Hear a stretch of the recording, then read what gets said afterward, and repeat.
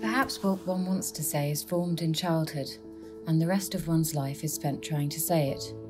I know that all I felt during the early years of my life in Yorkshire is dynamic and constant in my life today.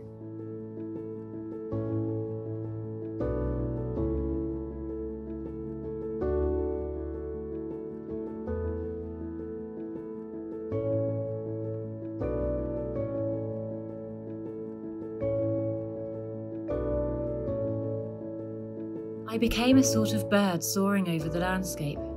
At the furious pace of about 25 miles per hour, and being very careful not to disturb the horses and drivers of their carts, we roamed through the dales and valleys and up the moors and through the Pennines. From the deep indigo and blacks and scarlets of the industrial heart, we sailed through unimaginable beauty of unspoiled countryside.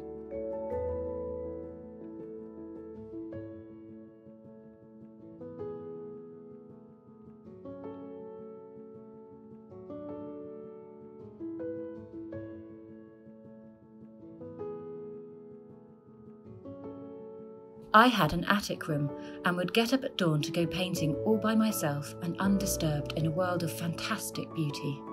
The rocky scars, the boats, sea, and cliffs inspired me continuously.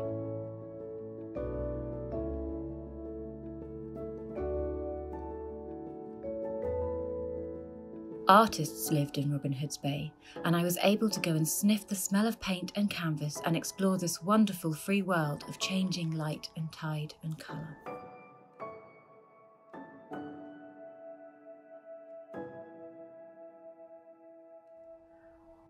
More and more I observed the granite setts, the steep hills of industrial Yorkshire, the scurrying of mill girls in their shawls, huddled against the cold and wind, the lonely figure against a street gas lamp, the squatting miner outside his door, and the gleaming withinness of his sparkling, ugly house.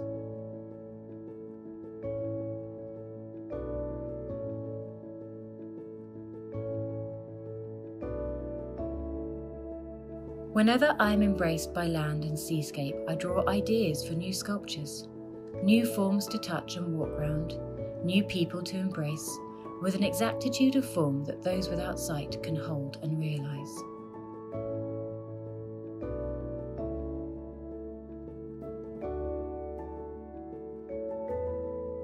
All my early memories are of forms and shapes and texture.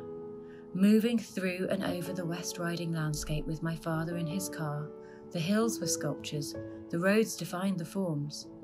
Above all, there was the sensation of moving physically over the contours of fullness and concavities, through hollows and over peaks, feeling, touching, seeing through mind and hand and eye. This sensation has never left me.